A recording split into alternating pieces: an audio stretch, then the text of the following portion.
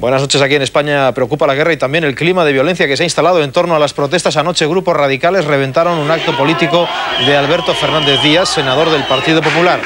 Le insultaron, le siguieron mientras abandonaba el local en Reus, Tarragona.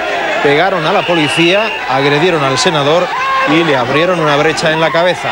Lanzaron huevos y pincharon las ruedas de su coche. Ha sido la penúltima de las agresiones contra dirigentes populares que han visto cómo se atacaban 120 de sus sedes. Hoy Javier Arena se preguntaba qué métodos son estos para pedir la paz. ¿De qué pacifismo estamos hablando? ¿Qué pacifistas son los que atacan una sede, intentan agredir, agreden concejales, candidatos? ¿Qué pacifistas? No hay un mayor contrasentido que defender o decir que se defiende la paz ejerciendo la violencia.